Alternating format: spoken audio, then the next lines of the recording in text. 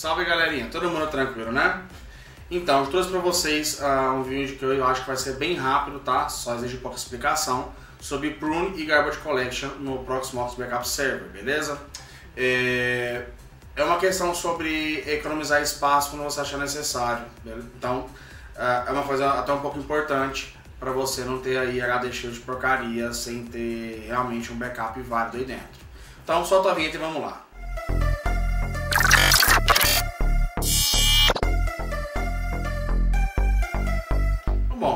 Nós temos aqui o nosso Proxmox Backup Server, correto? Uh, e aí eu tenho aqui então meus backups e tudo mais, né? Então nós temos aqui então 30 GB tal, quatro vezes. É... Ocupa tudo isso? Não, Luciano. Por mais que eu tenha dito para vocês uh, no vídeo passado, uh, que está aí na playlist, tá? Sobre como fazer backup das máquinas, é, por mais que pareça que o stop seria um full backup, ele é assim mesmo aqui incrementa, tá? É, então não, não ocupa 3 vezes 4, são, são 4, né? 1, 2, 3, 4, 3 vezes 4, 12, não ocupa 120 GB nesse caso aqui da máquina 100. Ah, e quando você vai fazer o restore, você pode escolher só a última que ele se encarrega de fazer o que deve ser feito para que a máquina seja restaurada naquele uh, exato momento que você escolheu aqui, tá? Lembrando que os meus backups todos são modo stop, correto? Se você não sabe o que é modo stop, uh, vai lá ver o vídeo sobre como fazer os backups para você entender. Ah, então, bom, o que acontece é, você vem aqui, faz backup, é, borra backup, apaga backup, deleta backup e tudo mais e não sei o que, e aí você começa a perceber aqui que no summary ah, você está ocupando muito mais espaço do que você realmente tem conteúdo aqui né, no content. Ah, em, então o que acontece é que você começa a ver, querer fazer a conta, então ah, você vê que não bate, tá? É, aqui no meu caso já está bem cheio e tudo mais, mas eu já vi, por exemplo, com 3, 4 máquinas só, com dois backups de cada uma, e mesmo somando aquele espaço delas, que não acontece porque eu já fiz esse teste, você via que não chegava a 1 tera, obviamente elas são pequenas, as minhas, minhas vagas virtuais.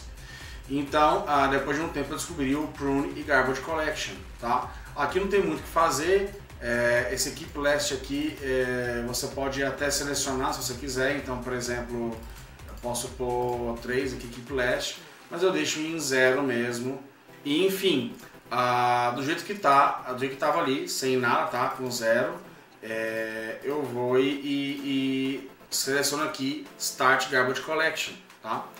Ah, isso faz o que?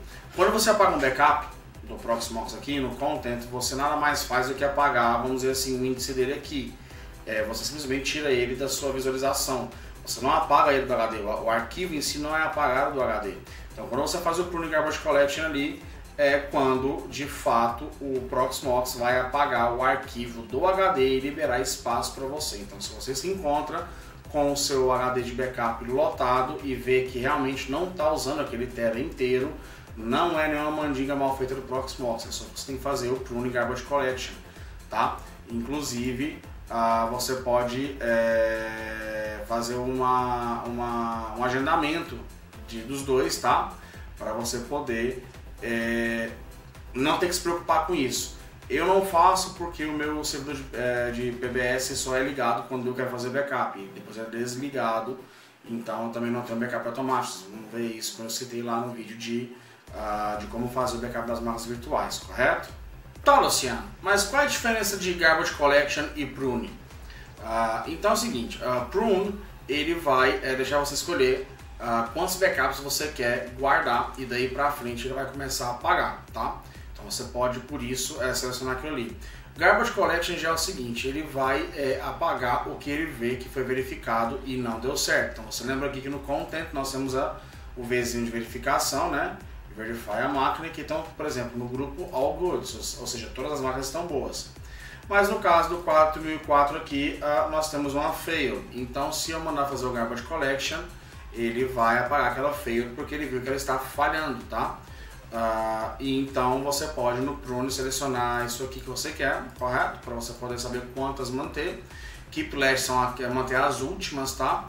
Uh, e o resto aqui é autodescritivo. Uh, e o Garbage Collection vai pagar as que são falsas. Inclusive, uh, o Proxmox ele diz para você que pelo menos uma vez por mês você deveria fazer um backup, então, porque obviamente o HD estraga e por mais que o dado foi verificado esteja bom, ele pode vir a ser danificado com o tempo por causa do desgaste do HD, tá? E para isso serve os cinco, uh, perdão, Verify Jobs, tá? Que você pode adicionar aqui quais uh, você vai ver quais quais serviços você vai verificar é, com a MaxDef, etc e tal, diariamente ou com a sua frequência para você estar verificando, reverificando esses backups aí para ver se eles não ah, começaram a ter algum problema por causa de dano no HD, tá? Ah, eu não sei se algum outro tipo de dano poderia interferir nisso, mas enfim. Então, galera, é isso aí sobre Pulling Garbage Collection. Para mim foi muito importante saber isso, aprender isso, porque, claro, eu já tinha um HD super cheio, Uh, só que não tinha de verdade um tera dentro dele que eu tinha selecionado para manter. Então uh, ele estava cheio, mas ele estava cheio de coisa que eu não queria. Como no Garbage Collection, eu fiz o procedimento e ele simplesmente esvaziou, uh, mantendo só o que eu queria que fosse mantido para eu ter mais espaço para fazer novos backups, correto? Então, espero que vocês tenham gostado, galerinha. Espero ter ajudado vocês e até a próxima.